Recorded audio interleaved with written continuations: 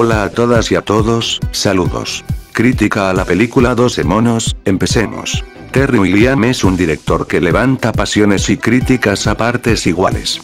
Procedente de los famosos cómicos británicos Monty, Python, su cine es muy característico, con unas señas de identidad bastante reconocibles y no al gusto de todos. Sus comienzos en estos del séptimo arte fueron a base de comedias, con títulos tan reconocidos como Los Caballeros de la Mesa Cuadrada o El Sentido de la Vida. Poco a poco, sus producciones se fueron abriendo a un público menos minorista hasta llegar a 12 monos. Este es quizás su trabajo de mayor presupuesto hasta entonces, contando para este film de ciencia ficción con un reparto que aseguraría una buena taquilla. 12 monos o 12 monkeys, que es su nombre original, nos lleva hasta un futuro, no muy lejano, donde una pandemia de origen vírico ha dado como resultado la muerte de la mayor parte de la humanidad. Este hecho provocó que la atmósfera resultase verdaderamente mortal, debiendo vivir los supervivientes a este holocausto, bajo tierra. En un hábitat tan hostil, es necesario ir controlando los niveles de toxicidad en la superficie, por lo que se hace uso de presos para enviarlos, con una protecciones algo arcaicas, en búsqueda de posibles seres vivos que aporte algún indicio del culpable del mencionado apocalipsis.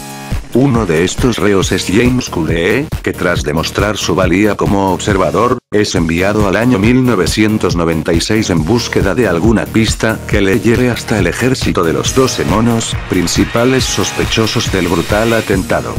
Es en este primer viaje temporal donde coincidirá con Jeffrey Goines, un desquiciado joven cuyo padre es dueño de una importante empresa farmacéutica. Y es que James es internado en una institución psiquiátrica, tras ser considerado como un lunático altamente agresivo en su búsqueda por el ejército de los 12 monos. Esta es la premisa de un film que juega en todo momento con la dualidad de los viajes temporales y la locura más delirante. Si en el caso del personaje de Jeffrey, sus problemas psicológicos son evidentes desde el primer momento sin dejar lugar a duda, el de Pulee dependiendo del momento, puede llegar a confundir al espectador de si lo que cuenta es cierto o es producto de su mente.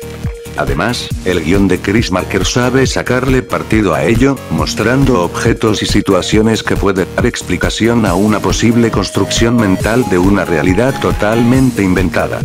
Un juego que se lleva a cabo a lo largo de las casi dos horas que dura la película, y que sabe mantener el interés y la duda hasta los últimos momentos.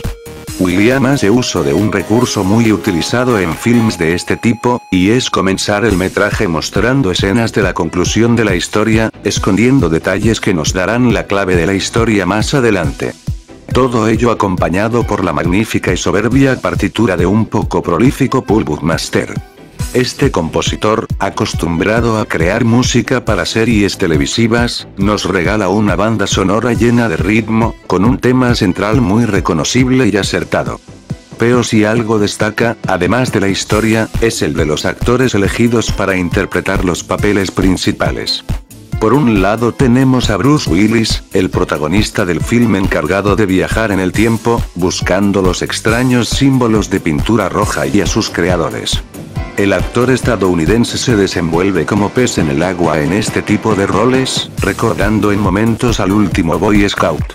Un papel que le viene como anillo al dedo y que cubre de manera notable. Pero sin duda, el que se sale en esta película es Brad Pitt, que consigue imprimir al personaje de Jeffrey ese punto de locura que lo convierte en todo un mito en este tipo de roles. Grandioso el monólogo que se marca para explicarle el funcionamiento de la institución mental donde está ingresado, con un amplio repertorio de tics y gestos exagerados. Una muestra más de que no es solo una cara bonita, con una de esas interpretaciones que demuestra, una vez más, del amplio registro que es, es capaz de cubrir el actor nacido en Oklahoma. Completa el casting de intérpretes principales la guapa actriz Madeleine Stone. La californiana realiza un papel más que notable, consiguiendo no quedarse ensombrecida por las actuaciones de sus potentes compañeros de reparto. Algo muy complicado visto el nivel interpretativo tanto de Gillis como de Pete. Un rol que en un principio puede no tener mucha importancia, pero que termina siendo fundamental para el desenlace final de la historia. 12 monos es el resultado de un buen guion, unas potentes interpretaciones y la potente fotografía de Roger Pratt. El prestigioso director británico, encargado de fotografiar películas de tanto éxito como Harry Potter y la Cámara Secreta o Troya, nos regala un amplio espectro de tonalidades.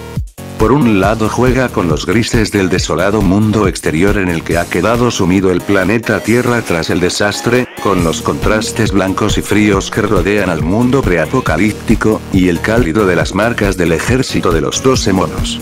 Un film cargado de momentos impresionantes como la estampida de las manadas de animales salvajes paseando por las calles de Filadelfia. Podemos asegurar que esta película es de esas que necesitan más de un visionado para dejar atados todos los detalles.